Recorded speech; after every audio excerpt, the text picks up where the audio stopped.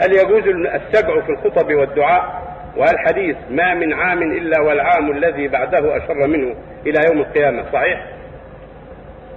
السجع في الخطب لا حرج فيه إذا كان غير متكلف ولا يفضي إلى استثقال المستمعين وتمرمهم بل هو سجع خفيف غير متكلف يجري على الإنسان من غير قصد لا حرج فيه أما إذا كان متكلف يقصد فلا ينبغي فالاقل أحوال الكراهة لأن الرسول ذم من فعل ذلك وسماه سجع الكهان.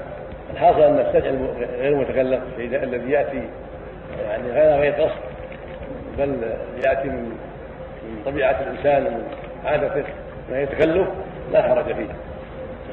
بخلاف الذي يتكلف ويقصد فإن هذا يستثقل وربما أفضى إلى جمل لا حاجة إليها ولا فائدة فيها أو ربما كانت ضارة لا مفيدة.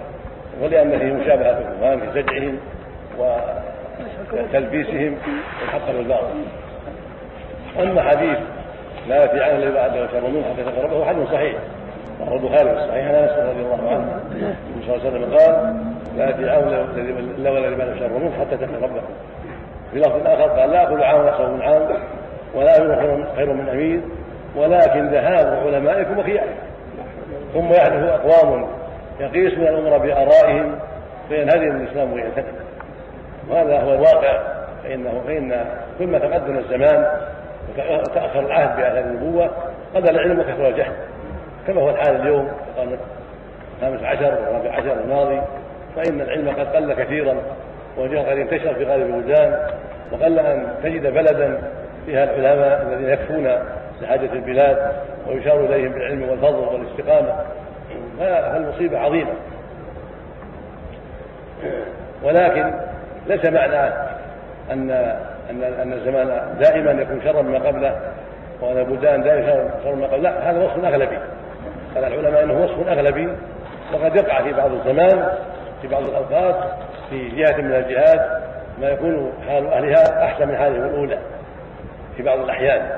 كما وقع في عهد عمر بن عبد العزيز خليفه الراشد فإن المسلمين قد حصل لهم بولايته خير عظيم وكان الحال في زمانه أحسن من حال من قبل حال زمن الوليد وأخيه سليمان. كانت زمان كان زمان عمر بن عبد العزيز أحسن بكثير في اقامه العدل وتحكيم الشريعة. وهذا يدل على أن قوله صلى الله عليه وسلم لا في عام الذي الذي الا والذي بأس منه يعني وصف اغلبي ليس وصف يعني عام آه، ليس فيه استثناء بل وصف اغلبي قال بعض أهل العلم في مثل هذا إنه بالنسبة إلى عموم الزمان لا بالنسبة إلى الأمكنة.